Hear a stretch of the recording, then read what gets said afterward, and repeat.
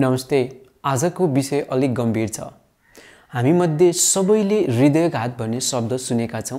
हामीमध्ये केहीले हृदयघातका कारण आफ्नो आफन्त गुमाएका हुन सक्छौँ। तर हामीमध्ये अधिकांश व्यक्तिहरूलाई हृदयघात भनेको के हो थाहा नहुन सक्छ। आजको यो श्रृङ्खलामा हृदयघात भनेको के हो र यसका प्रमुख तिन कारक तत्त्वहरू के के हुन सक्छन् भन्ने चर्चा गर्नेछौँ। शरीरको अन्य तन्तुहरू र मांसपेशीहरू जस्तै मुटुको मांसपेशीहरूलाई काम गर्न अक्सिजनयुक्त रगत चाहिन्छ। यसको सबैभन्दा बढी आवश्यकता मुटुको वरिपरि भएको कोरोनरी धमनीहरूलाई पर्दछ।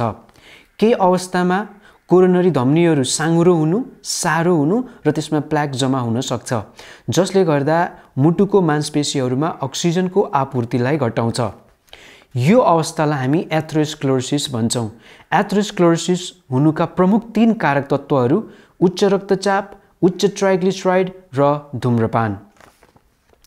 धमनीहरूमा जम्मा भएको प्ल्याक च्यातिन सक्छ। यो अवस्थामा शरीरको आपतकालीन मर्मत प्रणालीले निर्माण कार्य सुरु गर्छ र सेतो रगत प्लाटलेट्सलाई तुरुन्तै पठाई च्यातिएको प्रखाल टाल्न लगाउँछ र रगत जम्छ।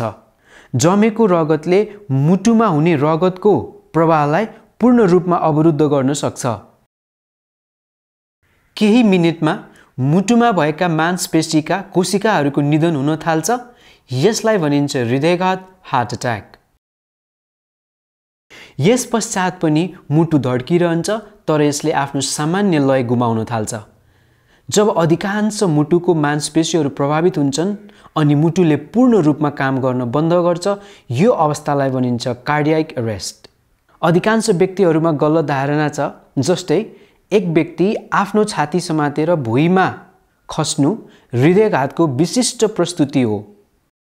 केही व्यक्तिहरूले क्लासिक बलिउड हार्ट एट्याक अनुभव गर्न सक्छन् तर वास्तवमा अधिकांश हृदयघातका लक्षणहरू एकदमै सामान्य हुन सक्छ। धेरै हृदयघातहरू छातीमा हल्का असुविधाको साथ सुरु हुन् हुन्छ। जुन समयसँग तीव्र हुन सक्छ अन्य लक्षणहरूमा एक वा दुवै हात दुख्नु घाँटी दुख्नु वा दुखाइ पेटमा सर्नु दुखाइसँगै सास फेर्न गाह्रो हुनु अथवा अस्पष्ट रूपमा पसिना आउन सक्छ।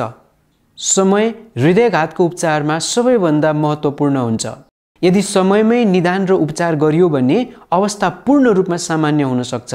अपरिवर्तनीय क्षति हृदयघात भएको तिस मिनटपछि सुरु हुन्छ र अधिकांश व्यक्तिहरूको मृत्यु हृदयघात भएको चार घन्टाभित्र हुन्छ।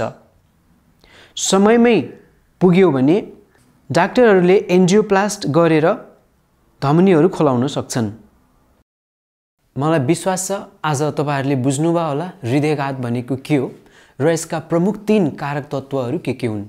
आजको यो श्रृङ्खलाको अर्को भागमा हृदयघातका अरू के के कारक तत्त्वहरू हुन सक्छन् र के गर्दा हृदयघातको जोखिमलाई घटाउन सकिन्छ?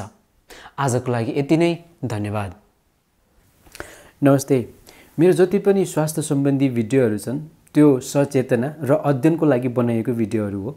यो भिडियो हेरेर आफै निदान गर्ने आफै उपचार गर्ने आफूले खाइरहेको औषधि घटाउने बढाउने काम चाहिँ नगर्नु होला आफ्नो डक्टरलाई भेटेर सुझाव र सल्लाह लिनुहोला।